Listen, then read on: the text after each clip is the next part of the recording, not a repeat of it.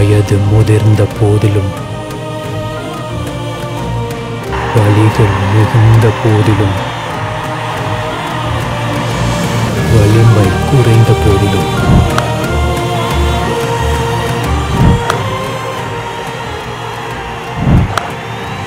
வீரன் வாழ்த்தரிப்பதை நிறுத்துவதில்லை.